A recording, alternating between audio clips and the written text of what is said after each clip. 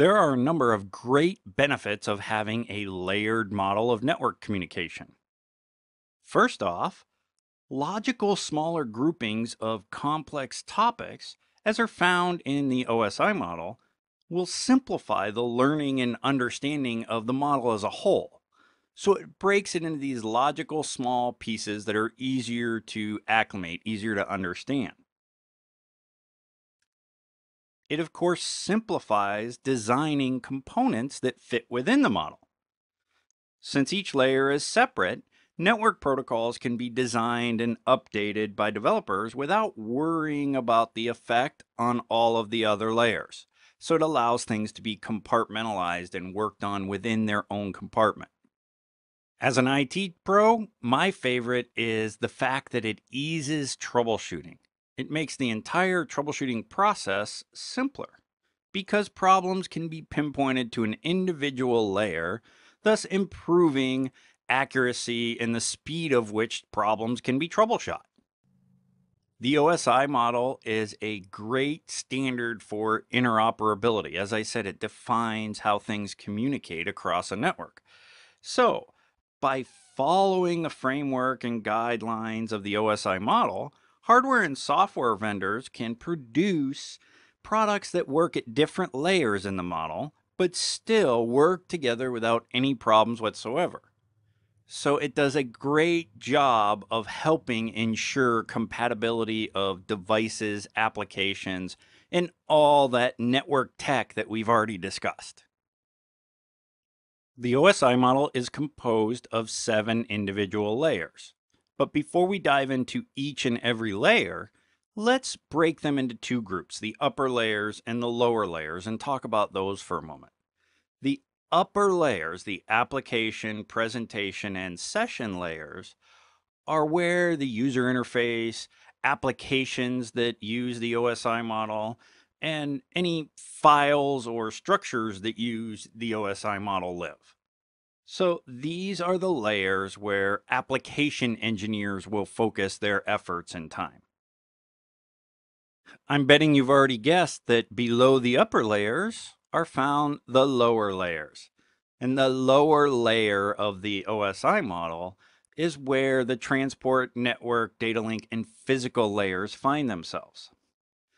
The lower layer takes care of all the functions that transport information from one application on one device to another application on another device across a network.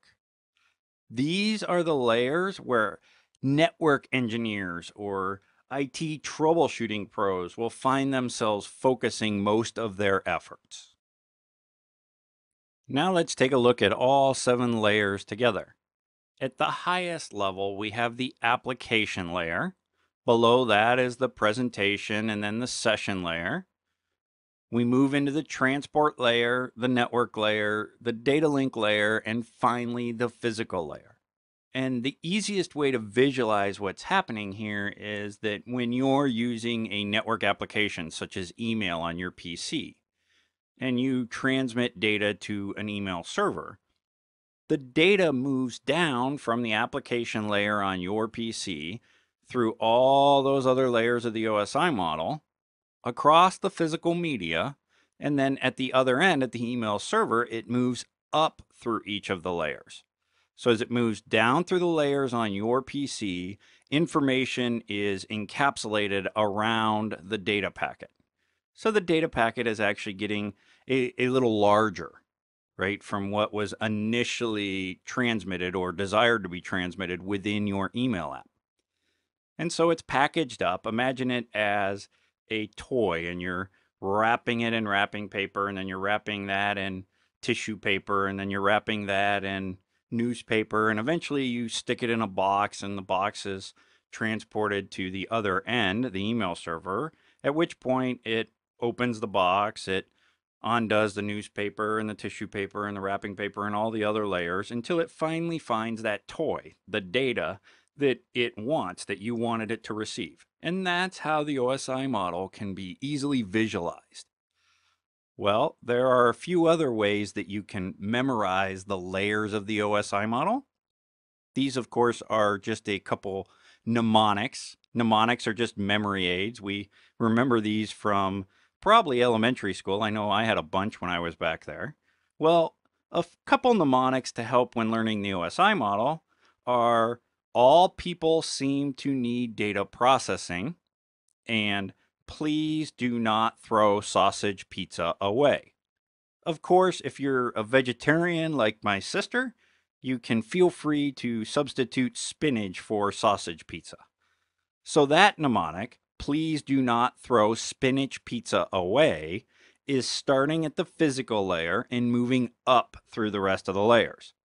The first mnemonic I gave you, all people seem to need data processing, is moving from the top layer, the application layer, down through all the layers.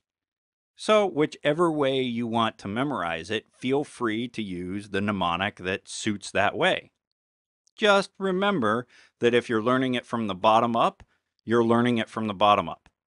It's a bummer to memorize the seven layers and then when asked about the seven layers to write them in reverse order because you memorized them from the bottom up but write them from the top down.